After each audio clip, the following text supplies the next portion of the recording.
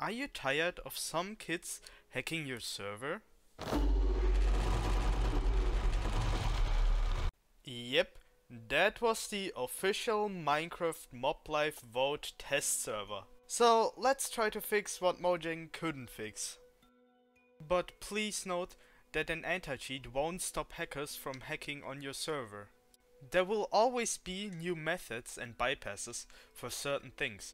So don't expect an anti-cheat to completely eliminate all hackers, because that's not the purpose of an anti-cheat. We rather just want to make it harder for them. And in today's episode, we're gonna be creating a system that will automatically clear malicious items from the player's inventory and send a message whenever the player has a malicious item inside their inventory.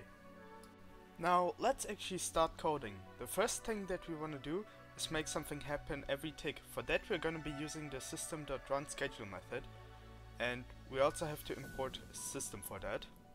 Good, and now we have to get every player because we want to clear the item for every player and not just for one.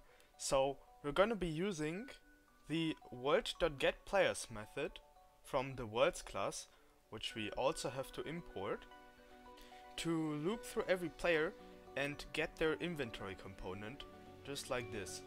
Now, we already know that this is an inventory component, but our editor doesn't. So let's help them a bit out by adding this line of code that will basically tell that the container is a player inventory component container, which will give us the type definitions, which we also have to import of course. This line of code actually does nothing, since it is a comment, it just helps us and the editor out to get the right type definitions. Since we have the container, we can now start getting the item with a for loop. We will use the container size and the index i to loop through every container slot so we have an index for the get item function where we can just pass in our index. We are now basically checking for every item inside the player's inventory. Now let's actually make a list of the items that should be removed from the player's inventory. I'm gonna be using an array with the IDs of the items that we wanna have removed. In this case, an apple and a shulker.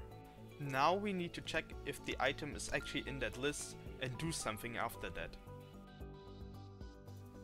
Now, what this line of code does, it basically checks if the item even exists and then it checks if the banned items list includes the item type ID.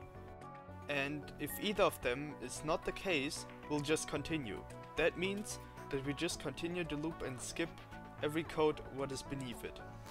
And now we actually have to kinda get creative, because an air is not an item that we can replace with the current item. So we're gonna be using this, which is an item stack with a stick where we set the amount to zero, because well, an item with the amount of zero is air. And then we're gonna import our last two imports, being items and item stack. And now we can actually finish off the script by replacing the current index with the air item that we just created. Now this alone would work, but it's kinda boring, so let's add a message which will basically say that an illegal item was found and it was being cleared. And that's actually it. Now let's try and see how it works in game. Now let's create a world where we turn on every experiment and apply the pack that we've just created. Now, whenever we pick up an illegal item, we will get a message that the item was successfully cleared from our inventory. And that's actually it with this video. Leave a like and subscribe and tell me on what kind of system I should do next. Bye!